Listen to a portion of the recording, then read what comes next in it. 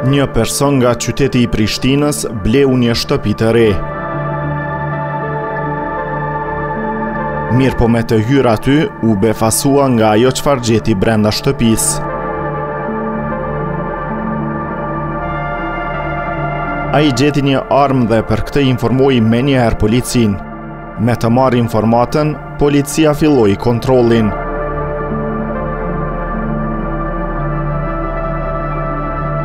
Në kontroll e sipër u gjet edhe një pushkë gjuetie me 27 copë Fishekë me leje të skaduar. Me vendim të prokurorit, rasti shkon në procedurë të rregullt.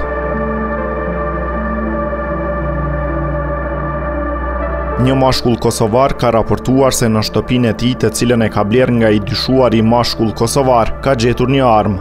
Policia ka konfiskuar të njëjtën ndërsa gjatë kontrollit në banesë, te i dyshuari, është gjetur një pushkë gjuetie me 27 copë fishekë me leje të skaduar. Me vendim të prokurorit, rasti në procedurë të rregullt, thuhet në raport.